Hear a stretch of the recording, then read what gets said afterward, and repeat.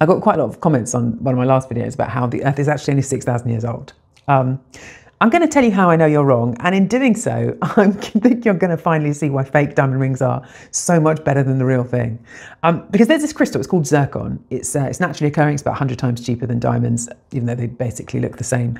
And you get it when molten lava solidifies into rocks. You get these sort of zircon crystals that sprinkle across the surface. But what is interesting about zircon is that there are some atoms, like uh, uranium, that can get trapped in the structure when zircon forms. Um, and then zircon acts like this little jail cell almost, like that the uranium is trapped in there forever unless you, you destroy the crystal.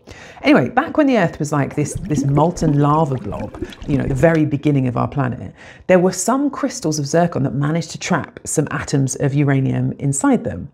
But the thing is, is that uranium is like this, this very kind of fat, unwieldy atom, right? It's very unstable. And it has a habit of breaking apart into two small atoms of lead. This is called radioactive decay.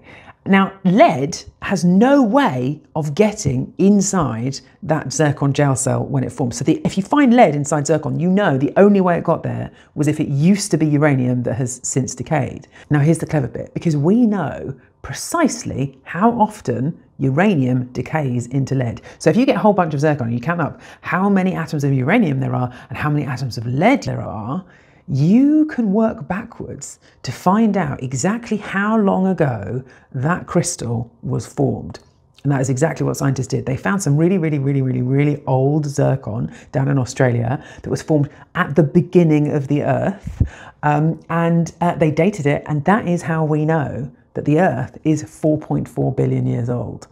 Um, now, I should add that gold, also part of your, your ring, um, it can't be created on Earth, right? It can only be formed inside the heart of a dying star or in a collision of two, two neutron stars. Uh, and it only gets here by, by hitching a ride on some cosmic object like an asteroid or a comet, probably billions of years ago too. And so if you give somebody a, a fake diamond ring, a zircon ring, you are literally handing them an ember of the history of our planet wrapped in some genuine glittering stardust.